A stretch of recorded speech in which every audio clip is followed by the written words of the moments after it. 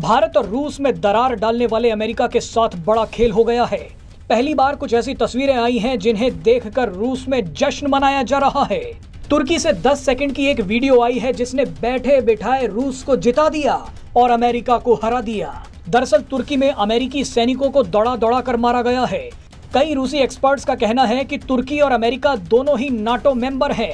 ऐसे में एक नाटो देश में अमेरिकी सैनिकों का पिटना हमारे लिए बहुत बड़ी जीत है। जानकारी के मुताबिक तुर्की यूथ यूनियन के लोगों ने अमेरिकी सैनिकों पर हमला कर दिया।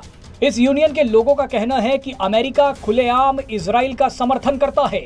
इसराइल वो शैतान है जो हमास को मारे जा रहा है और अमेरिका इसराइल को मदद देता जा रहा है।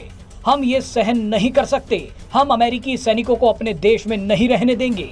अमेरिकी सैनिक की कुटाई कर तुर्की के लोगों ने नारे लगाए कि यंकी गो बैक।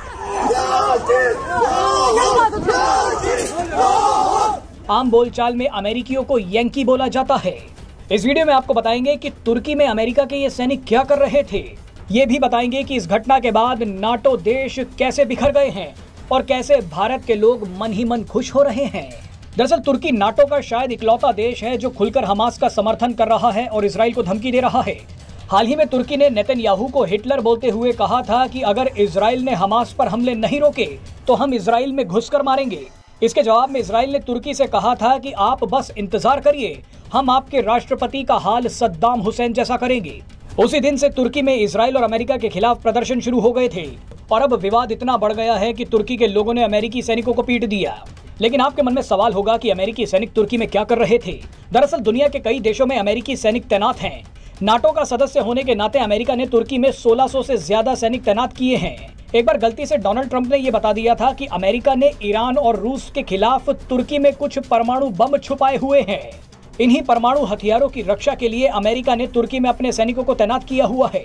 ऐसा बताया जाता है कि अमेरिका ने कई यूरोपीय देशों में अपने परमाणु हथियार छिपा रखे हैं।